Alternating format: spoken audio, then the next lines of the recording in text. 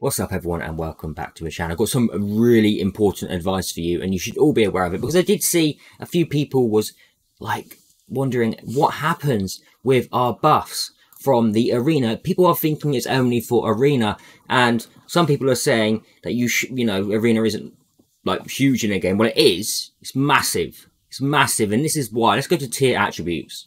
Tier attributes. Now look, just, just, just, just, just. Okay. Bronze 3 obviously get nothing, right?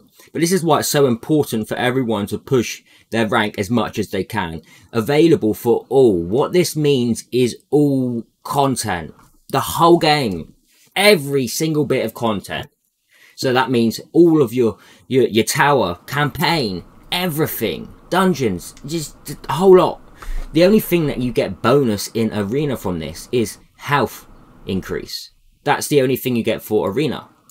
So, I mean, look, these these increases are massive.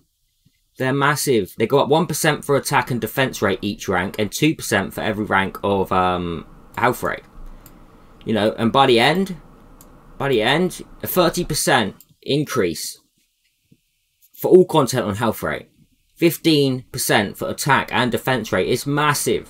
It's massive. And this is why Arena is so important because your rank can really push on everything in game for you. Absolutely everything.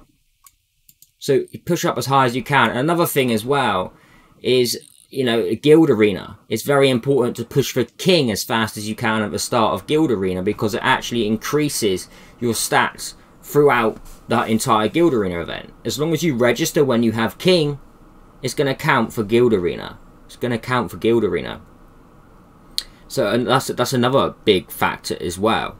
Uh, as long as your team's been set, it doesn't matter if you drop down from king after. It's when you set your team. It's when you set your team. You can theoretically, for Guild Arena, you can set all your gear on heroes, set the team, then remove it, re remove your gear, and they will still have that gear on for the Guild Arena that time. Same goes for regressing. If you was to have a hero in the Guild Arena team setup, um, and then you regress that hero, that hero is still going to be inside the guild arena. Um, so it's massive. Like everyone should be really pushing this. It's, you can see for yourself the, the, figures making everything so much easier for you. So if a lot of you have been struggling and you haven't been pushing your PvP, there you go. There you go. It's going to make a huge difference to your account. I know people set easy teams for the events and drop down to farm more books.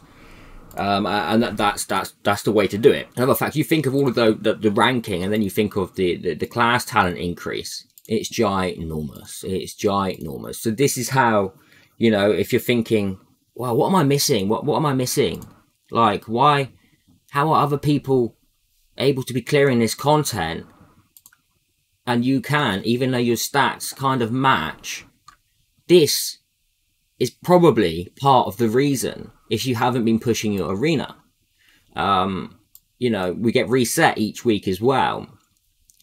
So, you know, just just just just push to what you can. Okay, you know, it makes a huge difference to your account. You you can see that now. You can see that, and I hope that you know a lot of you watch it and you know tell your friends that it is it does cover all content it covers all content the only thing it doesn't cover is the 50% health rate increase in arena which everyone gets from bronze 1 so on that note have a great day or evening wherever you are. Take care